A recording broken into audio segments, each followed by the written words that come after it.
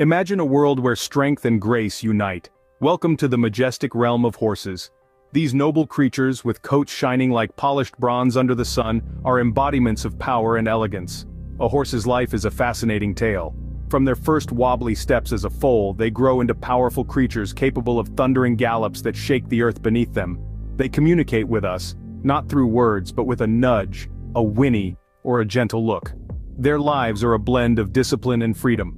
From grueling training sessions to free roaming in wide open fields, they oscillate between structure and wild abandon. In the world of sports, horses are not just participants, they are partners. Be it racing, show jumping or dressage, they demonstrate a blend of speed, agility and finesse that leaves us in awe.